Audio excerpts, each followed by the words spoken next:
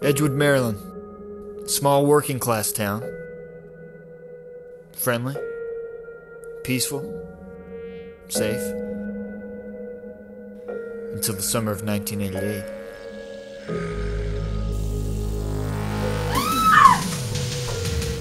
When terrified residents were stalked like prey and held hostage by a madman.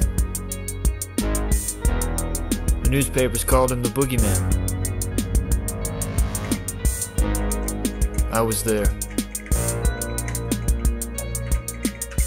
This is my story.